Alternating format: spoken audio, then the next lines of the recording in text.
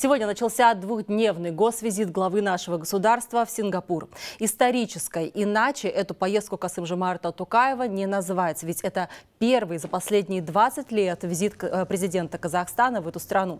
Поэтому встречали высокого гостя сегодня со всеми почестями. Причем прием проходил в созвучном с названием нашей столицы месте Истане, что означает «дворец».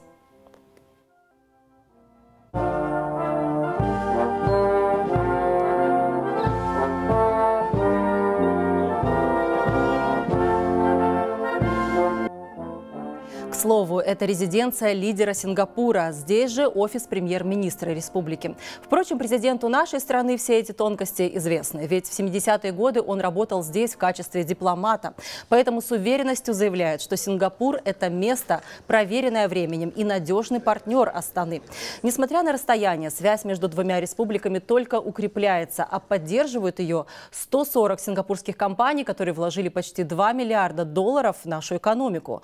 А вот среди основных основных направлений, которые стороны совместно развивают, это энергетика, переработка критически важного сырья, инфраструктура, финтех, логистика и связь.